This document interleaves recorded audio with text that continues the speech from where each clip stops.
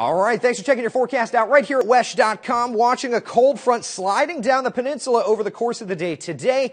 It's weak enough that we don't have any rainfall associated with it, but it's strong enough to help to usher in another batch of cooler weather across central Florida. So the next couple of days, this morning, 45, we'll make it to about 44 tomorrow, 46 on Tuesday. And then as we get into Wednesday, Thursday, that little piece of cooler air that moved in, well, it scoots on out of here and our temperatures start climbing into the mid 50s by Wednesday, upper 50s for morning lows by Thursday. For that being said, today looking great. Super Bowl Sunday across Central Florida. If you've got outdoor plans, A-OK, 69 degrees in Leesburg, 67 degrees Daytona Beach, 68 in Melbourne, and about 71 degrees down around the area attractions. Again, those temperatures climbing by the middle part of the week. By the end of the week, we actually start to see decent rain chances as more moisture moves into the area. Have a great Sunday.